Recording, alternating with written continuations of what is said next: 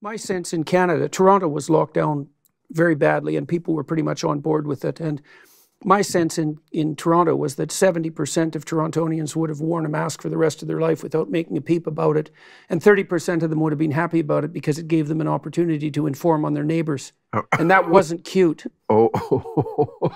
yeah, yeah, yeah, yeah. Well, you know, well, in East Germany, like one third of people were, were government informers. Absolutely. And you think, well, that couldn't happen here. It's like, yeah, it could the, in about uh, 15 minutes. Yes, the Stasi mm-hmm. payroll. Did you ever see the movie The Lives of Others? Mm-hmm the German. It won the best Oscar yeah. for best foreign language. Yeah, there's a fun society to live One in. One of the best movies. I mean, if you're looking for something with subtitles, I would recommend that one highly, people. The the lives of others, and it was about yes, what went on in under communist East Germany, and yeah, somebody he was he was a playwright, and he was playing ball with the regime. He was kind of on the you know a line. He was able to be an artist, but obviously he wasn't and what they did with the bugging and the oh my god it was how how humans can get themselves into those kind of societies and i suppose we could you do it by lying you know i mean people think that tyra- tyranny is a top down is the top down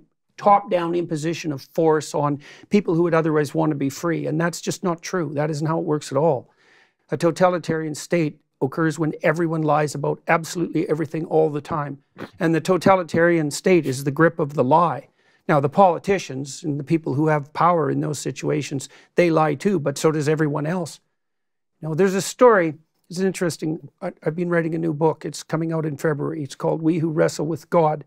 And I've been writing about um, Sodom and Gomorrah and the threat of the destruction of the city. And so the idea is that if if a city deviates from the appropriate moral path too blatantly, then all hell will break loose. Of course, that begs the question of what constitutes the appropriate moral pathway. But um, Abraham intercedes with God on behalf of Sodom and Gomorrah, and he says, first of all, that if there are 40 people, he says, Well, you can't destroy the city when he's talking to God. You can't destroy the city. There's some good people there. And God says, Yeah, well, I don't, I don't think there's very many. And, and, and Abraham says, Well, what if there's 40? And God says, Well, if you can find 40 decent people, then we'll leave the city alone. And Abraham bargains and bargains, and I think he bargains them down to 10.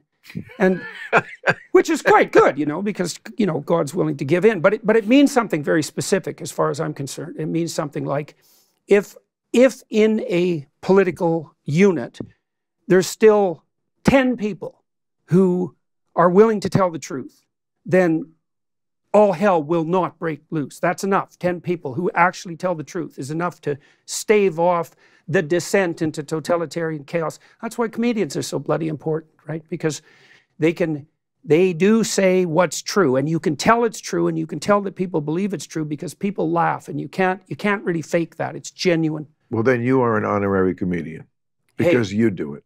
Yeah, but people no, just laugh it. at me, not with me. No, no, no. Well, yes, you're not a comedian, but you are Canadian, so you're halfway there. Well, right. Yes, you know. yes. But you are no, you don't. you do not give. And and it's and again, this is what I was trying to say before about you being a Canadian professor. It's like so delicious that you're the thumb in their eye because it's so much harder to argue with somebody like that because it's this person that they think they should be on our well, side. Right, Canadian academic. I know. How and, much more milk toast can you possibly get and, than a Canadian not milk professor? toast, but but liberal and erudite and sophisticated and all the things we want to think we are, and yet he's not getting on the crazy train with us.